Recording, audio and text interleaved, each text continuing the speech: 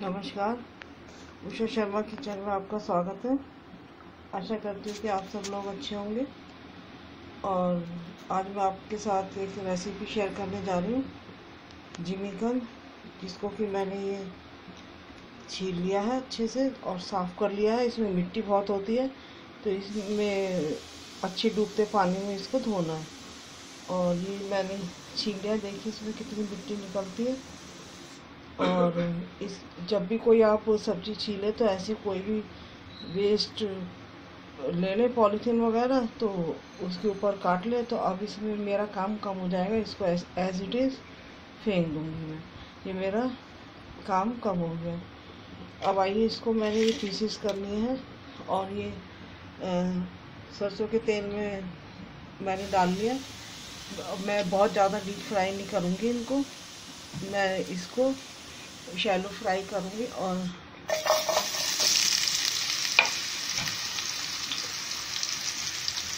तो बहुत ज़्यादा ऑयल डालने पर सारा ऑयल में स्मेल हो जाती है। तो बाकी ऑयल वो फिर किसी और सब्ज़ी में काम नहीं आता तो इसमें कम से कम तेल में ही इसको फ्राई करना है।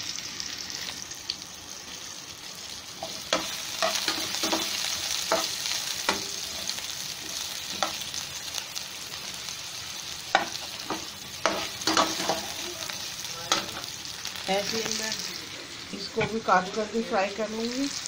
और उसके बाद मैंने यहाँ पर लिया है ये टमाटर है, अपनी पसंद से डाल सकते हैं, जितना आप चाहें। प्याज है, हरी मिर्च है, अदरक है, ये। और लहसुन खाना चाहते खाइए। कोई मनाही नहीं है, लेकिन मेरे घर में लहसुन नहीं खाते तो मैं नहीं डाल रही हूँ। तो आप लोग डाल सकते हैं। जैसे प्याज डलेगी प्याज के साथ साथ ही आप लहसुन डालते रहेंगे इसको बीच बीच में चलाते रहेंगे। और गोल्डन ब्राउन होने तक इसको पकाना है।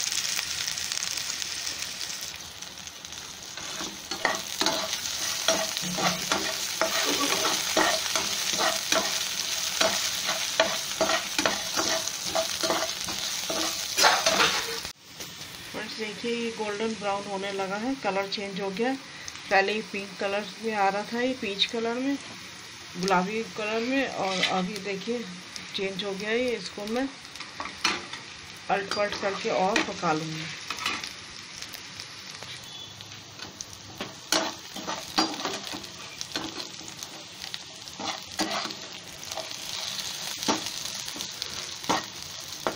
सैंडविच कुक होगा। और उसके बाद हम जब ग्रेवी में डालेंगे तो फिर आगे बताती हूँ इसको कितना कुक करना है। तो मैं इसको प्लेट में निकाल लूँगी और इसी कढ़ाई का यूज़ करते हुए काम को नहीं बढ़ाना है, इसी कढ़ाई को हम यूज़ करेंगे और इसी में ऑयल डाल करके इसमें छोंक बनाएँगे ग्रेवी बनाएँगे। बर्तन भी कम करने हैं, काम भी कम करना है, और रेसिपी भी हमारी कंप्लीट हो जाएगी।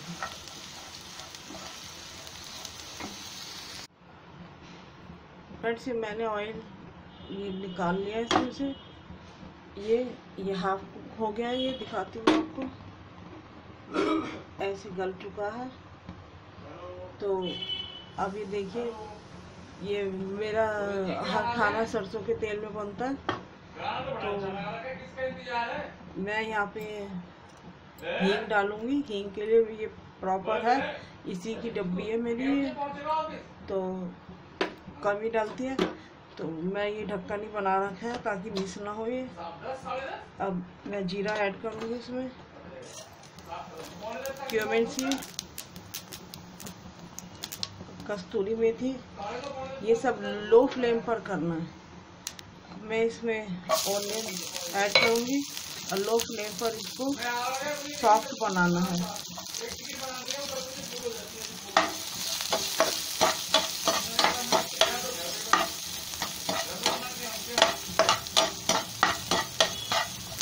हाई फ्लेम पर नहीं भूनना है प्याज को मीडियम फ्लेम और लो मीडियम फ्लेम पर आप इसको भूनेंगे।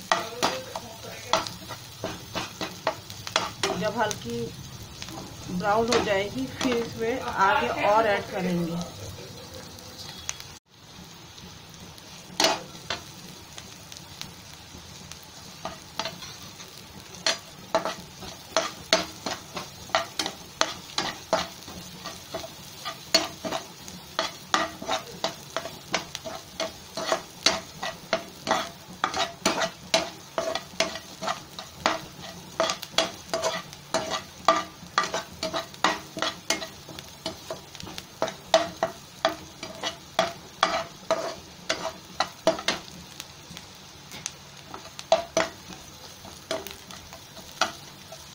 अब ये प्याज सॉफ्ट हो गई है।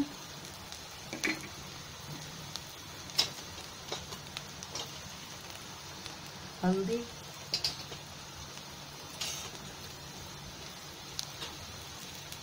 ड्राई कोरिएंडर मसाले कम ज़्यादा आप कर सकते हैं।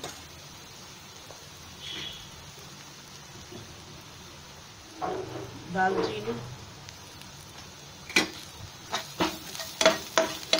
कोई मसाला आपको पसंद नहीं तो बन डालिए।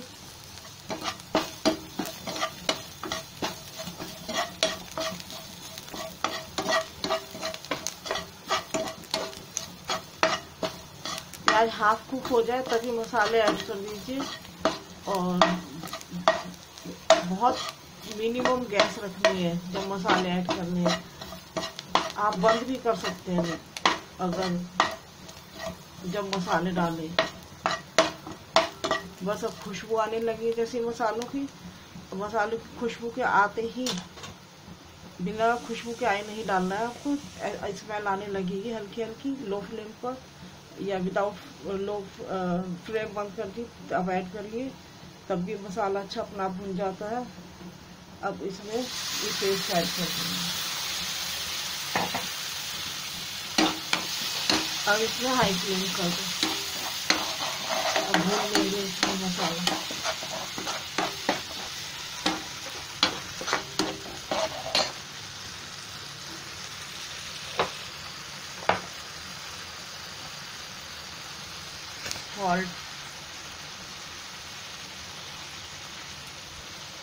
जितना आपको पसंद हो।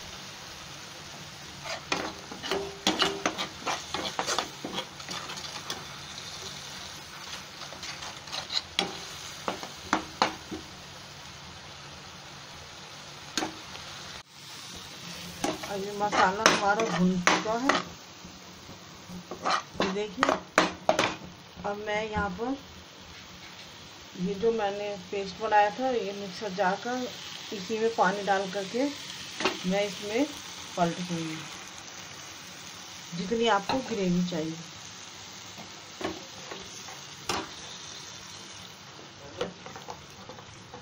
पानी इसी में डालकर करें ताकि जो पेस्ट का असर होता है तो वो भी इसमें आ जाएगा, वो हमारी नालों में नहीं, वो सॉरी सिंक में नहीं जाना चाहिए। खाने की चीज़ें उसे वेस्ट ना करें। अब ये भी मैं इसमें ऐड कर दूँगी।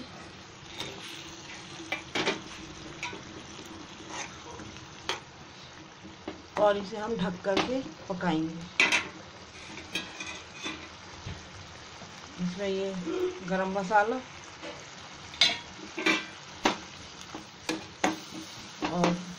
इसे लो फ्लेम पे पकाएँगे। और लो फ्लेम पे हम लास्ट में क्यों पकाते हैं, वो आप जान गए होंगे कि जो जिमिकन पकाया है, कोई भी और सब्ज़ी डालिए ग्रेवी में तो उसे आपस में मिक्सिंग होने दीजिए आराम से। एक दूसरे के फ्लेवर आ जाएँगे। मसाले के जो भी आप इसमें डालते जैसे मैंने चिमिकन डाला तो मसाले के फ्लेवर आ जाएँगे और मसाले के अंदर चिमिकन का फ्लेवर चला जाएगा। तो वो अच्छे से मिक्सिंग होने के लिए हम हर सब्ज़ी को बाद में पकाते हैं। और जो अगर नहीं पकाते तो सब्ज़ी का फ्लेवर मसालों का अलग आएगा और उसमें डाली गई सब्ज़ी का फ्लेवर फीकी सब्ज़ी रहेगी, उसमें कोई फ्लेवर नहीं होगा। फ्रेंड्स हमारे पाँच मिनट हो गए, मैं हटाती हूँ इसको। और ये देखिए अच्छी खुशबू आ रही है। और फ्रेंड्स जब ये प्लेट हटाए ना आप तो इसको ऐसे उल्टा करके रखिए। इस तरीके से नहीं रखना, क्योंकि जो भी गंदगी होगी, वो प्लेट में चिपक जाएगी और उल्टा करने से गंदगी नहीं आएगी। इसलिए जब भी रखे प्लेट को, उल्टा करना चाहिए। ऐसे नहीं रखना, वो नीचे की गंदगी सब्ज़ी में चली जाएगी। तो इस बात का ध्यान रखा कीजिए। कोई भी आप खाने का सामान निकालते हैं तो ऐसे करके रखिए प्लेट तो अब ये मेरा रेडी है। जिमिकन बहुत बढ़िया बनाया है मैंने। और फ्रेंड्स आप सबको आना पड़ेगा जिमिकन खाने के लिए। फिर बताना कैसा बना है। टेस्ट करके बताइएगा। कमेंट में लिखना ज़रूर है, कैसा बना है। मैं पूछूँगी सबसे। तो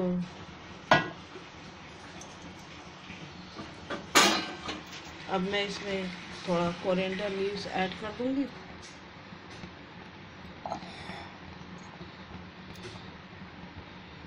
और फ्रेंड्स ये नहीं कि हर सब्ज़ी में कोरिएंडर लीव्स डालने से ही टेस्ट आ जाता है कि बहुत सुंदर लग रही है। ऐसा नहीं है। कोरिएंडर लीव्स का टेस्ट भी फ्लेवर भी तभी आएगा जबकि सब्ज़ी का अच्छा फ्लेवर आएगा।